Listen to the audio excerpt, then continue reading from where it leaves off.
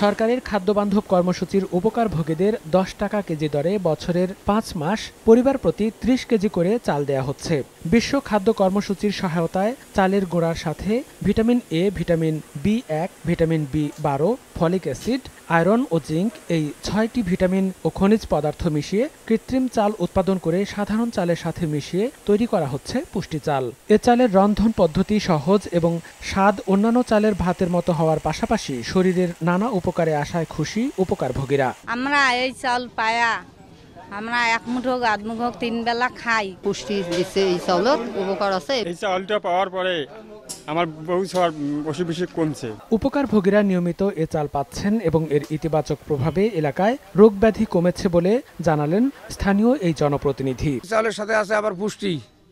পুষ্টি মনে করো ওই চাউলটা খাওয়ার পর অসুখ বিসুখ একটু আর কি কমছে। আর এখানে মেশিনের সাহায্যে সাধারণ চালের একশোটি দানার সাথে পুষ্টি চালের একটি দানা মিশিয়ে বাজারজাত করা হচ্ছে বলে জানালেন মিলের স্বত্বাধিকারী। ওয়ারহাউস থেকে আমরা সংগ্রহ করে আমরা খুব সতর্কতার সহিত ওয়ান ইস টু হান্ড্রেড অনুপাতে আমরা মিশ্রণ করে খা- খাদ্যবান্ধব কর্মসূচিতে ডিলারদের মাঝখানে আমরা সরবরাহ করে থাকি। বর্তমানে দুটি উপজেলায় পুষ্টি চাল বিতরণ করা হচ্ছে। পর্যায়ক্রমে অন্য উপজেলাগুলোতে এ চাল দেয়া হবে বলে জানালেন জেলা খাদ্য দপ্তরের এই শীর্ষ কর্মকর্তা। এ চাল কার্ড উপকারভোগীদের মাধ্যমে বেশ সারা পড়েছে এবং সবাই এ চাল নিতে আগ্রহ প্রকাশ করেছেন এবং পুষ্টি চাল পর্যায়ক্রমে অন্য অন্য উপজেলা অন্যান্য উপজেলায়ও বিস্তার লাভ করবে। জেলার নয় উপজেলায় খাদ্যবান্ধব কর্মসূচির উপকারভোগীর সংখ্যা এক লাখ একচল্লিশ হাজার আটশো পঁয়ষট্টি জন। এর মধ্যে সদর ও ফুলবাড়ী উপজেলার ত্রিশ হাজার তিনশো চুয়াত্তর জন উপকারভোগীকে পুষ্টি চাল দেওয়া হচ্ছে।